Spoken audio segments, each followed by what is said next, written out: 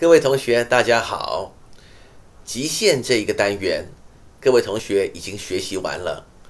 那么有没有觉得它是一个很有趣的观念呢？这个观念非常的重要。它关系的我们后面学习导函数一定要具备的一个重要的了解的东西。所以各位同学学完了以后可以继续的往下进行了。